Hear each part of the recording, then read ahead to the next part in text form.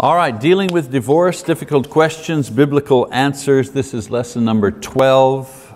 Uh, the title of this lesson, Divorce Busters, and part two. We started part one last week.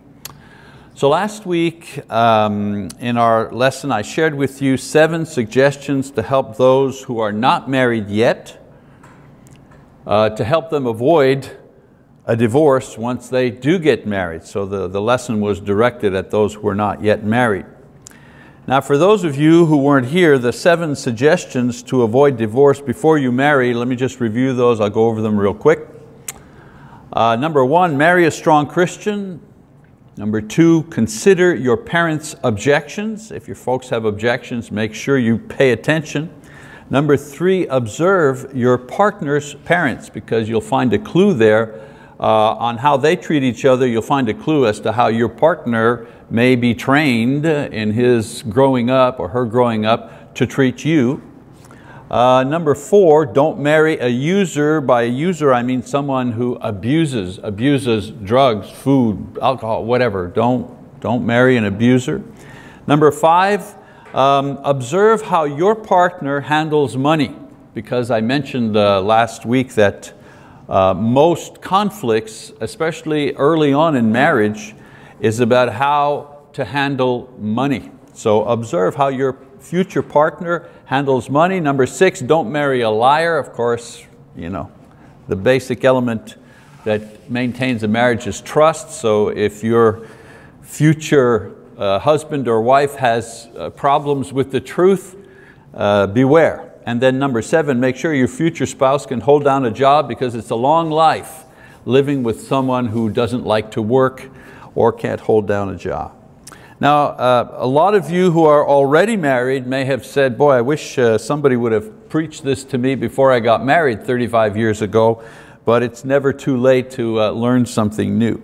All right, so today we're going to continue this subject with a part two lesson dedicated to those who are already married and who want to avoid a divorce in their relationship. So some suggestions as to how to avoid a divorce before you get married. Today some suggestions about how to divorce-proof your marriage if you are already into one.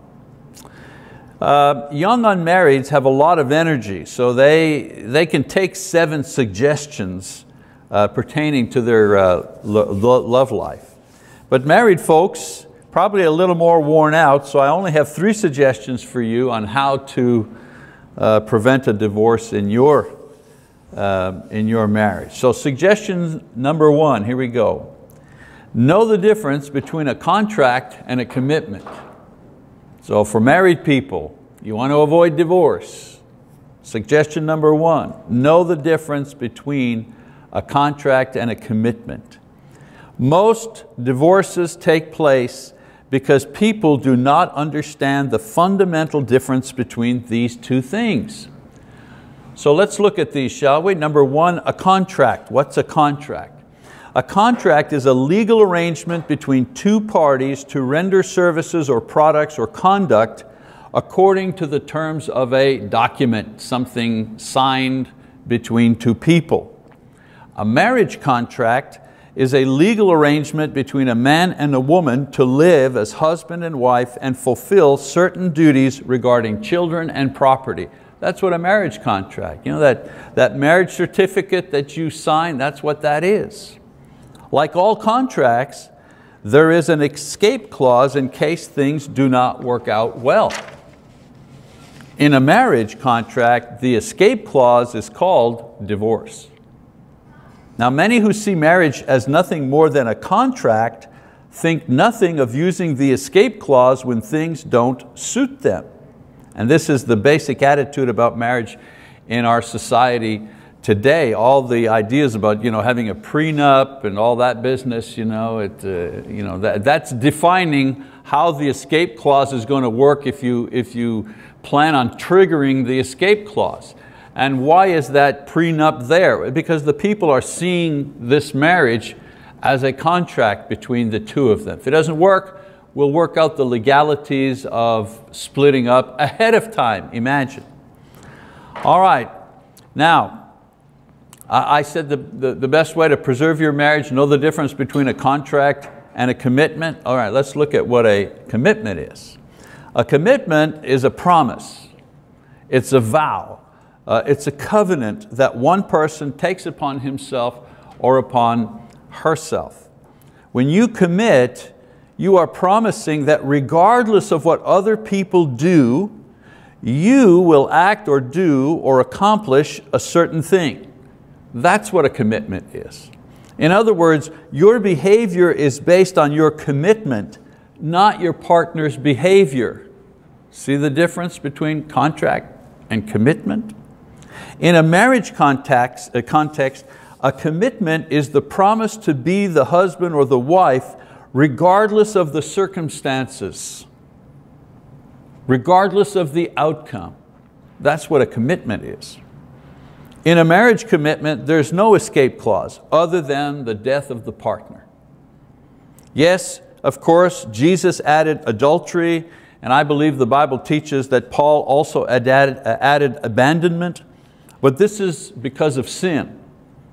However, the only legitimate out clause is the death of the partner. You know, I've said in other, you know, other classes about divorce, you know, it, God didn't say it was impossible to have a divorce. Of course it's uh, possible to have a divorce. And when you have a divorce, the marriage is over in the eyes of man, in the eyes of God. Yeah, it's possible to have a divorce, but that's not a righteous way to dissolve a marriage. The only righteous way that a marriage is dissolved is with the death of one of the partners. Okay, so when God instituted marriage at the beginning, it was with the idea that both partners would be committed to each other until death. That's the ideal. Matthew 19, 6.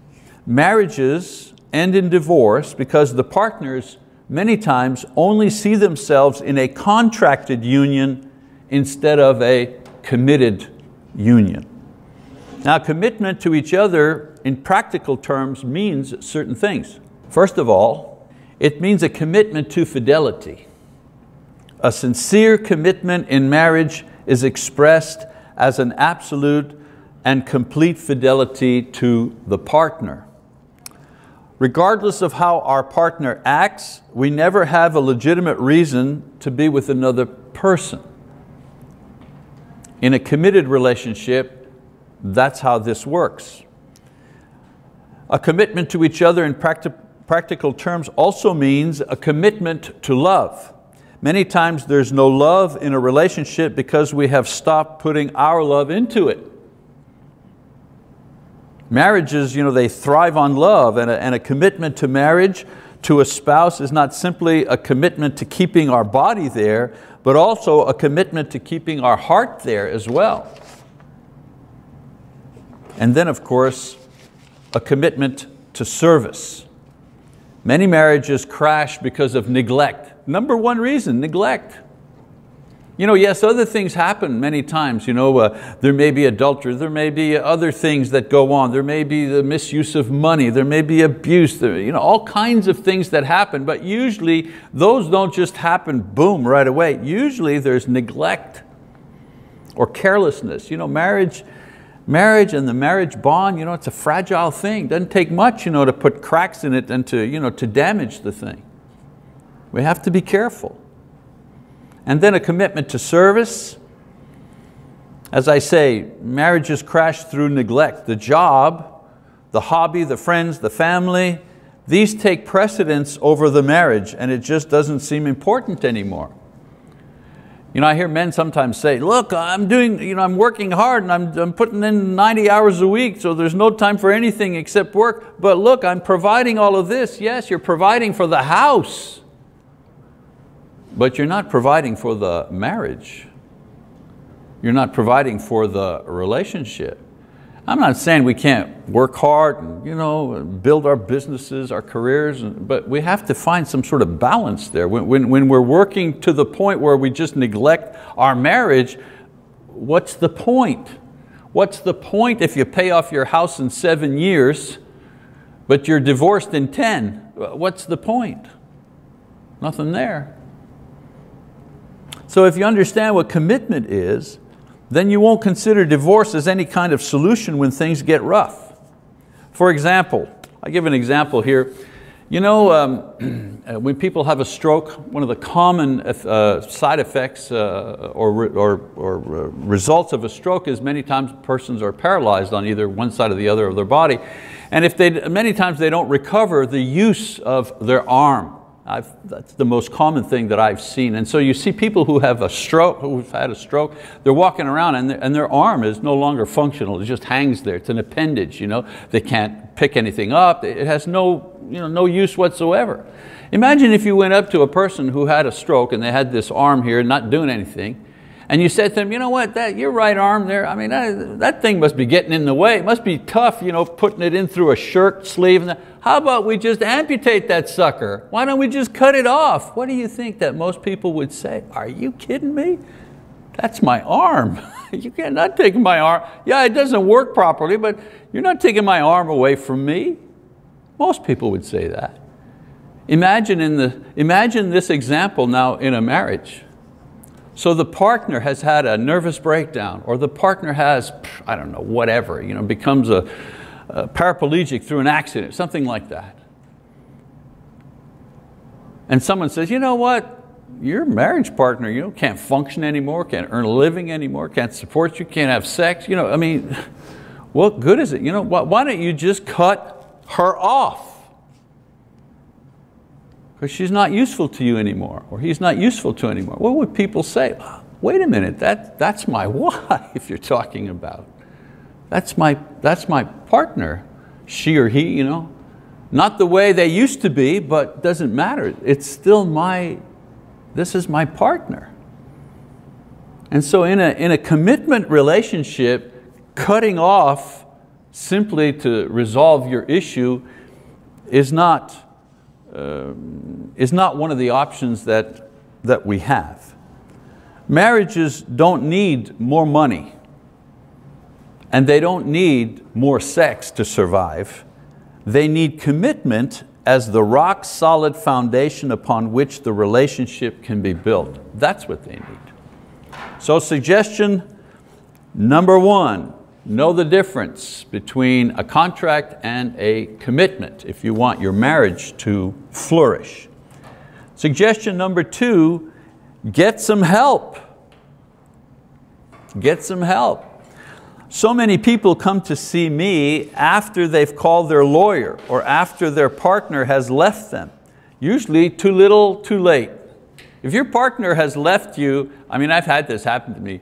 You know, the one person comes in, they want to talk about their marriage and they need some help with it. And, you know, and as I ask questions, okay, well, tell me a little bit about what's going on, you know, and what do you think led up to these problems? And they say, oh, well, uh, you know, uh, Johnny or John or whoever, you know, their partner. Oh, no, well, he's in his own apartment now. yeah, no, no, he left three months ago and he's in his apartment now. Oh, I say yeah, yeah, I thought I'd come see you, maybe you know, help us kind of work on our marriage. if John's got his apartment and signed the lease, it just may be a little too late to work on your quote marriage. You should have come and seen me you know, before this happened. You know, let, try to understand, people are sinners. And when you put two sinners together in a relationship for life, there's bound to be trouble. I know during the courting stage, you know, uh, she looks at him and said, you know what, you, you're perfect. And he looks at her and so beautiful, so fresh, you know, and said, no, no, no, darling, you're perfect. You're more perfect than I'm perfect, you know, and it's just so wonderful. But then after a while, the perfection starts to wear off and the real person, the normal person, I'm not saying the bad person, just the person kind of comes out there with all of their flaws. So of course, there's bound to be trouble, there's bound to be issues, there, there are bound to be difficulties. The thing is, don't be discouraged by that, don't let that you know, discourage you and make you quit. You know, accept it, work with it. Now most times people can work things out by themselves if they're having issues. But there are times when a couple gets to a, an impasse, a deadlock, a standoff, and they get into this cycle that they can't seem to break. So when this happens, when you get into that, a couple of things to remember. First, swallow your pride. A lot of couples will stay in their misery because they're too proud to admit that they're in trouble and they need help. So what they do is they lock into this kind of survival mode and they stay in this survival mode as best they can, sometimes for years, because they're too proud to go to someone. Doesn't matter, their, their mother, their minister, a counselor, they're too proud to say, you know, we're, we're having problems. And they put so much energy into projecting a happy facade for everyone, the neighbors, the family, the church, you know, because they don't want anybody to think that they somehow have failed. And they don't realize that by doing that, they're undermining the very thing that they're trying to save. You know, men are usually more guilty of this than women. They hate to admit that they failed somehow. They don't like to acknowledge that they might need some direction, that they don't know everything, that they can't fix it by themselves. Sometimes one of the partner's attitude is that, you know, there's nothing wrong with me, you're the one that needs the, the counseling. I've seen that a lot. I've, I've, I've had couples sit there and one partner say to the other, I'm here, but I don't need to be here. I'm, I'm here for her. Talk to her. I'm just here so, you know, so she would come, or I'm just here so that he would come. But there's nothing wrong with me, it's him. So, so and I've seen this, it's amazing. You know, so the, let's say it's the woman. The woman, the woman kind of partners up with me, and together we're going to talk to that guy that loser. We're going to fix him. Or the other way around. You know, we're going to talk to her and fix her problem, whatever it is. That's just, that's just pride. If you've said that, your marriage is in trouble, and that means you're in trouble and need help. If you think she's the only one that needs the counseling, well, right away, there's problem number one. If your marriage is in trouble, then you're in trouble. That's the thing we need to kind of remember. Another point to remember when you, know, when you need to get help, get Christian counseling. There are a lot of counselors, but only Christian counselors will help you redesign your marriage relationship according to God's plan in the Bible. Secular counselors want to get you to do what you really want to do. They may, they may even include divorce. Well, if, if, you know, if you're just not fulfilled and what you really want to do is write and go to, go to Italy and write your novel, well then fine, that's, you know, you need to yourself to be fulfilled. So maybe you, know, you ought to just you know, jettison your partner, maybe a little divorce will take care of business. You know. Uh, as long as we do it amicably, as long as we're still friends after the divorce. So you can go and write your great novel in Italy and yeah, no. Christian counselors will help you know and do what God wants you to do. In the end, this not only brings peace to the relationship, but also brings peace of mind. No one who has been through a divorce feels nothing afterwards. Like feels, ah, oh, that was good. I really, ah, yeah. I'm glad I did that. That was a wonderful experience. Finally, I'm free, I, I'm at peace. Nobody feels like that after a divorce. Even the person who is the quote victim, okay? Even that person after the divorce still feels hurt and pain and guilt and remorse. And they're the victim. I can't even imagine, uh, I can't even be, begin to tell you what that guilty party feels after they've been through a divorce. So there's no great feeling uh, after a divorce. That's why it's, it's, it's, it's better that we work on the relationship than, you know, there's, there's less emotional damage if you're working on the relationship uh, than if you simply choose an easy divorce to get out. Now, you understand, I, I can't say everything there is to say about divorce in one lesson. I, I recognize, and we've done this a couple of you know, lessons back, Uh, I, this is not what I would suggest if someone's being abused or beaten, you know, obviously those are different circumstances. I'm talking in general here, okay?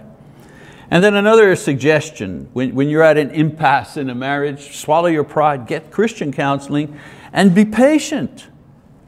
Uh, problems in marriages usually require changes on the part of both parties and change is usually slow and, and painful. It usually takes time to work yourself into marriage problems and it also takes time to work yourself out of marriage problems. Once you get help, then give it time to work in your life and in your marriage. The results are really worth waiting for. You know, think of, think of a, a, a tree. You plant, you, you plant a tree, right? You want to get a nice uh, rosebud, you know, a redbud tree. I remember planting a redbud tree uh, in Midwest City a long time ago, and I, I so wanted those redbuds in the spring. Well, you know what? They didn't come the first spring. it was just a twig out there. But after a couple of years, yeah, that redbud started to sprout and it started to look beautiful. You know. We don't live there anymore, but if I drive by there, that, that tree has continued to grow and, and, and it gives pleasure every, every spring to that household uh, with its, uh, beautiful, uh, its uh, beautiful buds in the spring. Well, you know, fixing a marriage, it takes a season or two for those things to, you know, to, take, to take hold and grow. And if we're patient, we, we, see, the, uh, we see the results. Well, most problems that separate people in marriage are fixable given the right attitude and teaching. And a lot of times in counseling, I try to explain to people um, the things that you've said to me that, that are wrong in your marriage or that are difficult in your marriage, if I were a physical doctor, I would make the diagnosis that you have, uh, you have pneumonia. Now if you have pneumonia, in this day and age, you're miserable, you got a fever, you're coughing, you're weak, you, know, you, you, you quote, you want to die. But you're not going to die. Because with medication and rest and so on and so forth, you'll get through this. And, and in a couple of weeks, two, three weeks, maybe a month, you'll start feeling better again. Well, sometimes marriages have pneumonia. You think that they're going to die, but with, you know, with the right type of uh, adjustments and patience and love, you know, eventually give it a, a little bit of time, that marriage will be healthy again. Some marriages have terminal cancer. You know, one partner has left the other and has now living with another individual and the woman in that individual is pregnant. Yeah, well that marriage, you know, that, for, that marriage, that's kind of, yeah, that's over. That's not happening. So sometimes some marriages, yeah, they're damaged beyond repair. Uh, a father abuses sexually their own child. Okay, that marriage, you, you see what I'm saying? So some marriages, yeah, they're beyond repair. But most marriages are not. Couples who are in trouble and seek help early they need to hang on to Jesus' promise that with God all things are possible, Matthew 19, 26. Even marriages that seem hopelessly in a mess can be fixed and restored if only we trust in the Lord of hopeless causes. You know, my, my thought is, uh, let me get a slide. If God can resurrect Jesus from the dead, He can also resurrect a dead relationship if we obey, if we trust in Him, if we do what He says. All right, so suggestion Number two, for those who are married, want to avoid divorce, get help. Get help for your marriage if it's in trouble. And don't, don't feel ashamed like, oh, we ought not to be in trouble. Of course not. I mean, you're two sinners and you're trying to have a relationship for life. Of course there'll be problems. And there'll be some problems you won't be able to fix by yourself. You'll need help. So don't be proud, get that help. Then suggestion number three, I only have three. Learn to forgive. Learn to forgive. Divorce is the final refusal to forgive. Now I say final unforgiveness, but not first. Not first. A divorce is usually preceded by a long series of unforgiven offenses. When we don't bother forgiving or asking for forgiveness for our small offenses, We don't learn how to forgive or how to ask for, forgive, uh, for forgiveness when it really counts. You know, we go through, you know, we do things and sometimes on purpose or not on purpose, we offend our, our partner. We hurt their feelings.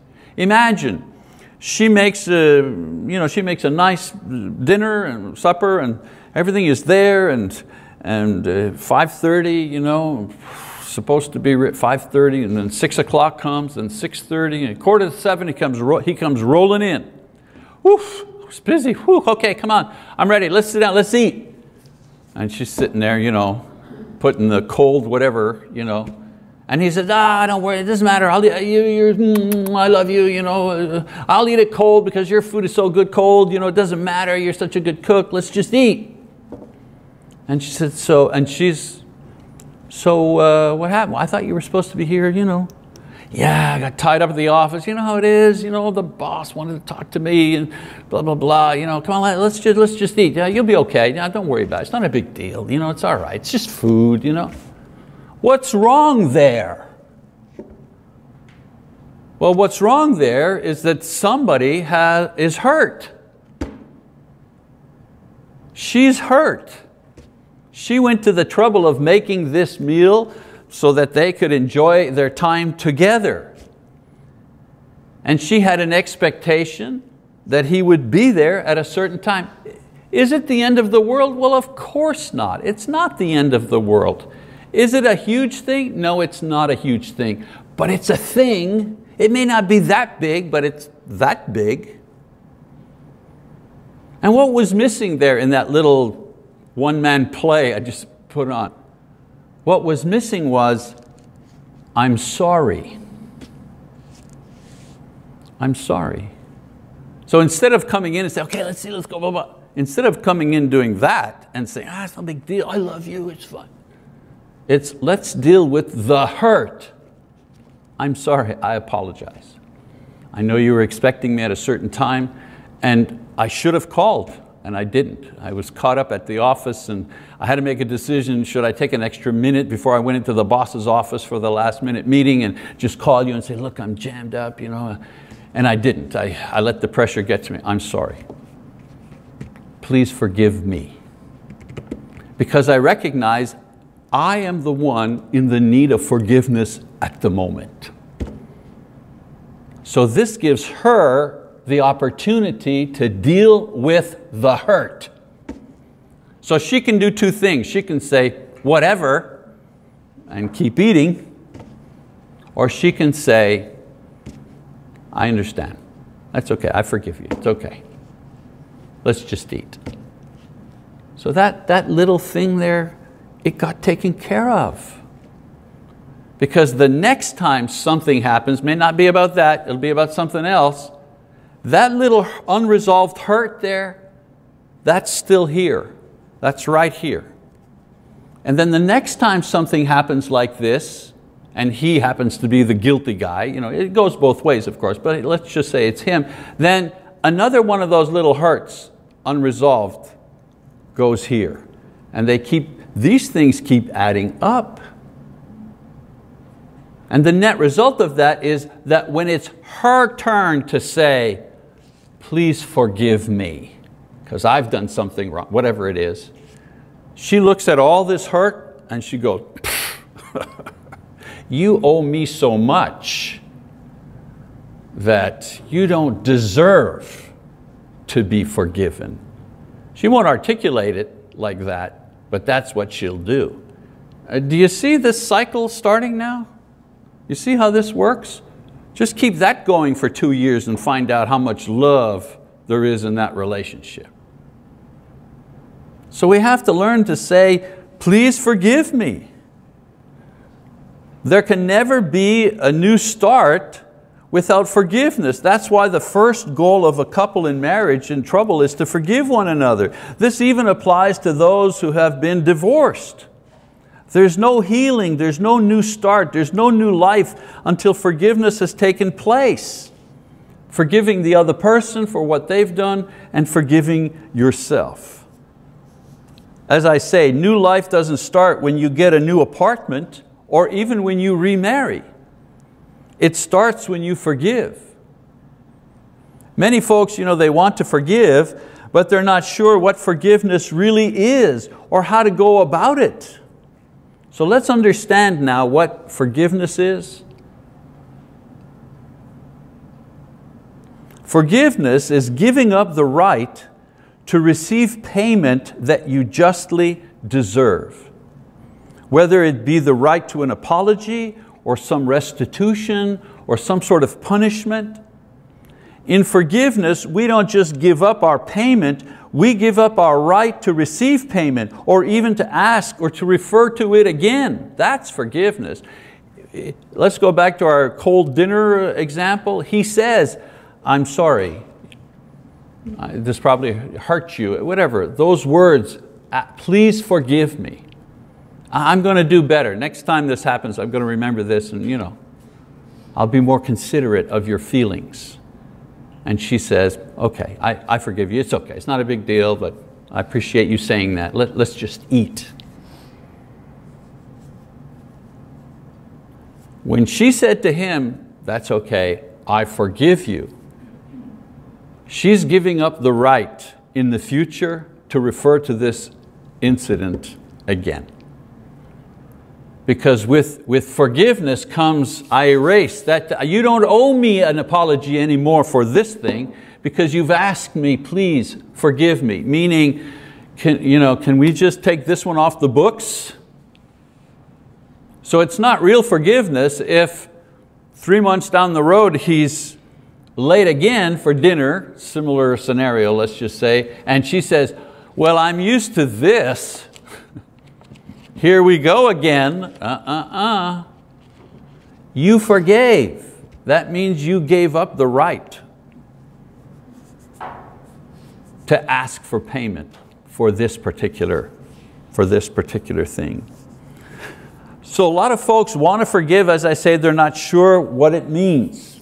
In forgiveness, we don't just give up our payment, as I say, we give up our right to receive the payment. We also sign the right over to Christ. In other words, the other person now owes Jesus what they previously owed to us. They still owe it, but they don't owe it to us anymore. They owe it to God in Christ. We've turned it over to Him in prayer. And if He will demand it of them, then they will have to pay it. For two Christians, that's wonderful. So that Christian couple, please forgive me. She says, yes, I forgive you. The offense goes to Christ and Christ then echoes, yeah, I forgive you too. In the waters of baptism, I've, I've forgiven you that thing as well. For the non-Christian, I forgive you, uh, now that sin goes to Christ. If that person's not a Christian, ultimately they'll have to answer to the Lord. You know, when he's, in Romans, when he says, vengeance is mine, says the Lord, I'll repay, that's what he means. Those, of, those who have offended you, don't take justice, don't take revenge, leave it to me, trust me, I will take revenge for that. Now in return for this forgiveness, Jesus gives us what? He gives us peace. He gives us peace concerning the issue. We trade anger, resentment, and dire, uh, desire for revenge and hurt, we trade that for peace. And we get a bonus. The Lord also gives us forgiveness for our sins, which He transfers from us to Him as well. So sometimes the stuff you know, in, a, in a divorce, Sometimes the stuff is so old, it's so complicated, it's so hurtful that it cannot be untangled. It can't be taken back. We just need to, to wipe the slate clean and forgiveness is the only thing that can do this. I've seen that as well. And I've experienced that as well. You know, something that happened so long ago, you, you ever notice you try to, like you're trying to work it out and you, you, don't, you can't even agree on the details anymore that it's so old.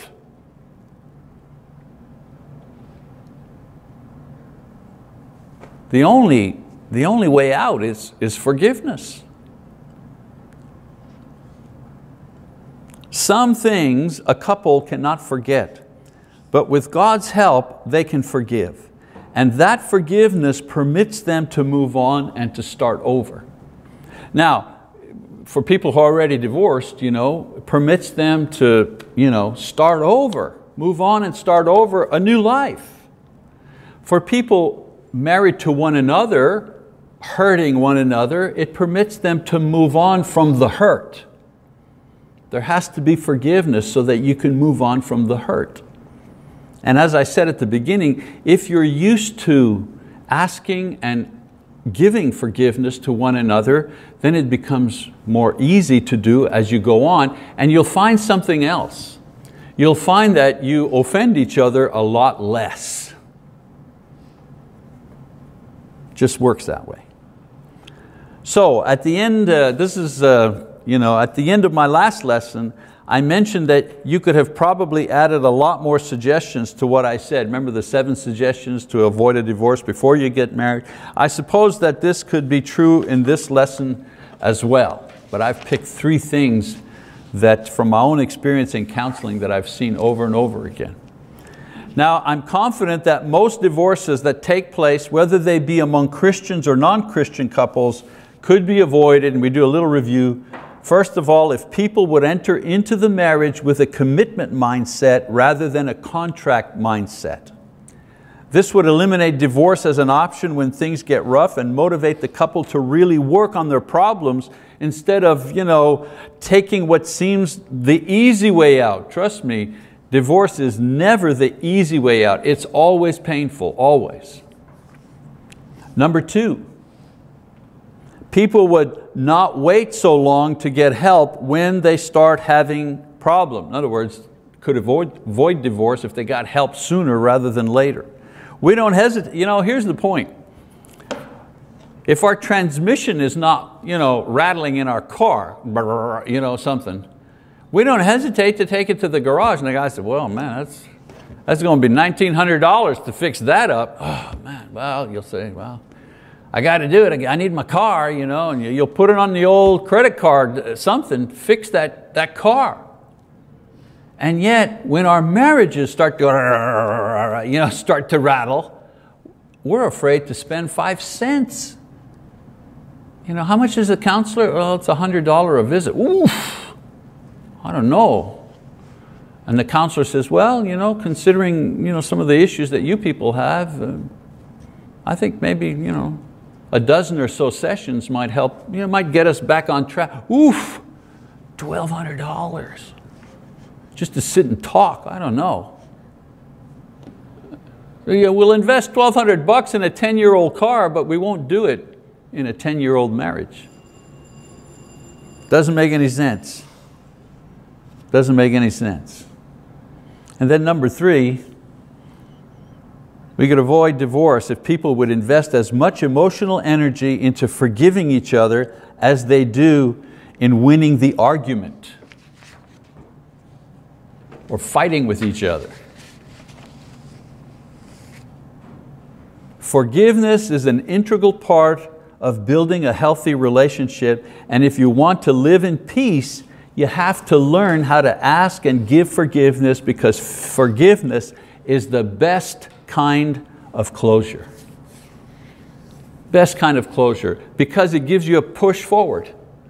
If you've asked for forgiveness sincerely and understood what, what it is that you've done to hurt your partner, and if you've offered forgiveness sincerely because you understand that your partner needs this and you know you need this to move on, your marriage gets like new life after that. You're at another level. The other one thing before we close out I want to say is that when you have forgiven one another for an issue or something like that, your marriage feels so much stronger after that. Why? Because a thing at the level of what happened before will no longer slow you down. The being late for supper thing, you know, that might not happen again, and if it does, you've already you know, learned how to work that one out quickly. Lisa and I, you know, uh, we've been uh, married uh, 38 years, and the thing that we've noticed in 38 years, we used to call them uh, fender benders. Fender benders, meaning we'd have an accident, we'd crash into each other, we'd have a fender bender because a misunderstanding, you know, one word too many, making a little joke at the wrong time, you know, fender benders. And I remember when we were first married, you know, first couple of years, you know, we'd lay in bed and talk about it, you know, and it'd be four o'clock in the morning, we're still yakking about it and working it out. And she'd say, okay, enough. It may not be settled, but I've got to get some sleep. I got four kids that are going to be up in an hour, you know. And well, the thing we've noticed, you know, as, as we've been married longer and longer and longer, is that the fender benders hardly ever happen now, but when they do, they're resolved in about 11 seconds. Because what we have is so wonderful, we don't want to even waste 10 minutes, you know. We've learned how to get through those things more quickly. And that's not, not because we're extra special. Everybody can do that if, if we learn how to forgive each other and we practice that. Okay, that's our lesson for today. Uh, next time, uh, our capstone lesson in this series called Love and Marriage. I want to finish really on a positive note, so that'll be for next time. Thank you for your attention.